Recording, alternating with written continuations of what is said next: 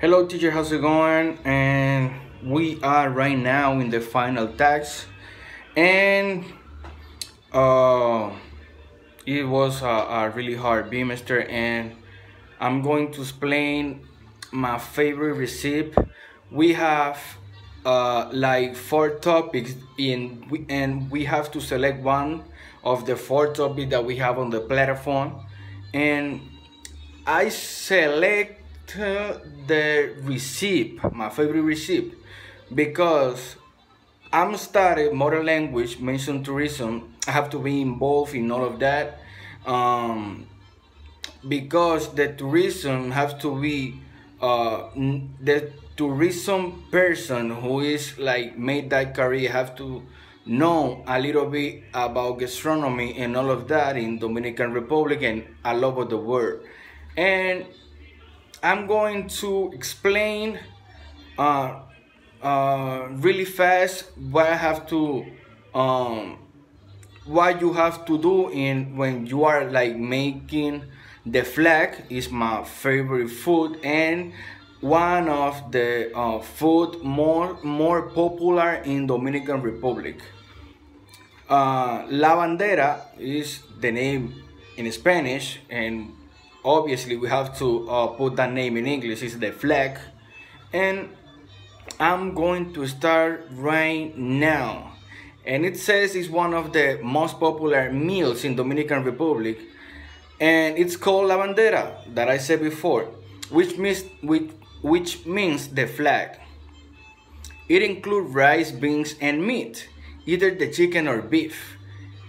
Each part is supposed to stand for one of the color of the flag. Many families living in poverty can afford the meat very often because it's more expensive than the than the most vegetables. So these meals will be an special treat.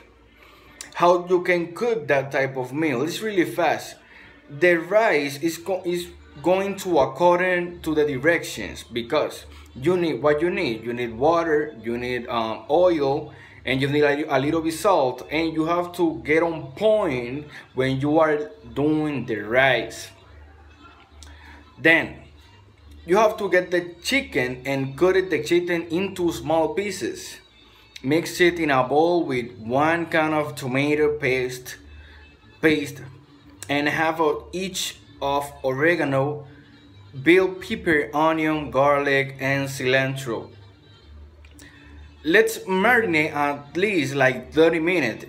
Well, in this point we have to be carefully because almost uh, all the people didn't like um, marinate the chicken into the vegetables uh, for doing at the moment. Well, but if you um, get knowing that the day last of this day that you are making that food is going to be good because you can put in the refrigerator and go, and going to be good.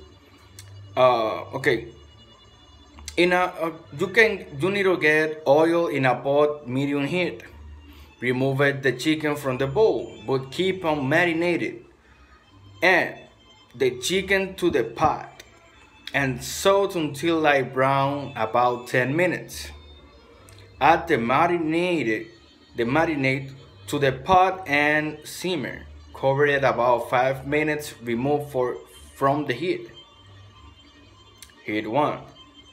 Oil in a large oil in a large pot over medium heat, then add over other canned tomato paste and the remaining pieces cook about one minute. Add the, uh, add the pinto beans into the pot and cook until beans are warm, about 5 minutes.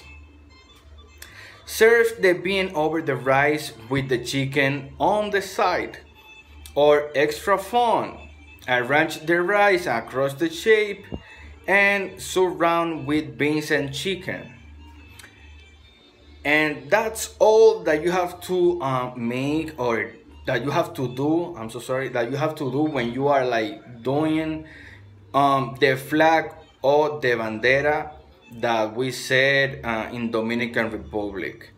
It's a very famous um, dish because almost all the tourists that they come to our country, they know that it's really delicious when you are eating our um our first dish. That's all for me teacher. Have a great night and i hope we doing good in the grammar english too. Have a great night. Peace